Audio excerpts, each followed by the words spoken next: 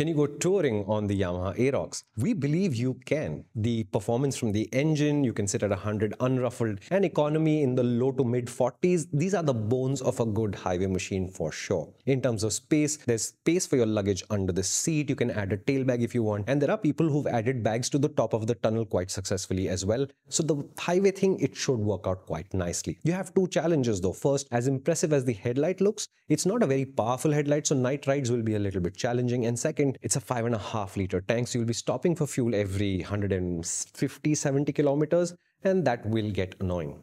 If you look at Southeast Asia, Aeroxes have aftermarket fuel tanks ranging from 6 to 10 liters, and how common these fuel tanks are suggests that Yamaha really needs to rethink this 5.5 liter fuel tank. Because if the Aerox could go longer distances on every tank full of fuel, this would immediately be an even better highway machine.